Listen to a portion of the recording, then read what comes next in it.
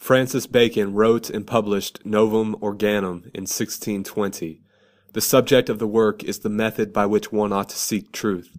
According to Bacon, men ought to begin with observations, that is, the senses, and then move incrementally from intermediate axioms to the most general axioms. This process is called induction, which is the method employed by modern science. For example, a man observes that all cats that he has encountered have tails. He concludes that it is highly probable that all cats have tails. The contrary method is called deduction.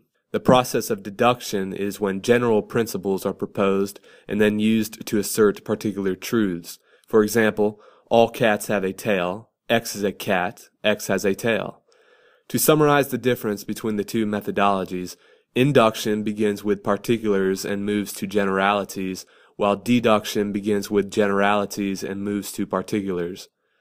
To support his argument that the inductive method is preferable to the deductive method, Bacon discusses four impediments to attaining the truth if one relies on deductive reasoning. He names these impediments idols. They are the idols of the tribe, the cave, the market, and the theater. The idols of the tribe are the common preferences for certain incorrect conclusions. For example, Bacon asserts that mankind seeks out patterns and imposes order upon natural things that might not possess such qualities. For example, men mistakenly supposed that the revolutions of the planets were perfect circles. The idols of the cave are the individual biases of particular men due to variable circumstances such as education, environment, habits, etc. These prejudices render men less capable of objective reasoning. For example, men tend to adhere to the particular religion that they were taught when they were children. Regardless of evidence to the contrary, men will stubbornly resist changing their beliefs.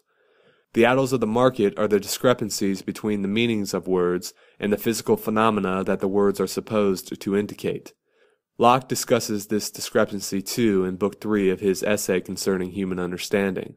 Both authors identify the confusion and problems that arise in communication and the search for truth when words are imprecisely used. Bacon goes so far as to say that one does not resolve these issues even if one provides precise definitions of words, because words compose the definitions, and so words beget more words ad infinitum. Finally, the idols of the theater are the philosophical dogmas created by previous philosophers.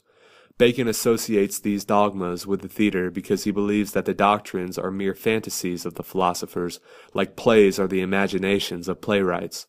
According to Bacon, no previous philosopher except for Thales derived their system purely from empirical observations, but rather tainted their philosophical systems with the idols described above. I think Bacon is correct in asserting the superiority of the inductive method of reasoning. The advances of modern science serve as tangible proofs of its effectiveness.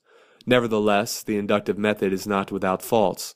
A Scottish philosopher named David Hume drew attention to the inherent problems and shortcomings of induction. To provide a brief overview of Hume's arguments, consider the example I provided in the beginning of this recording. The example of a man concluding that all cats have tails because all the cats that he has encountered so far have tails.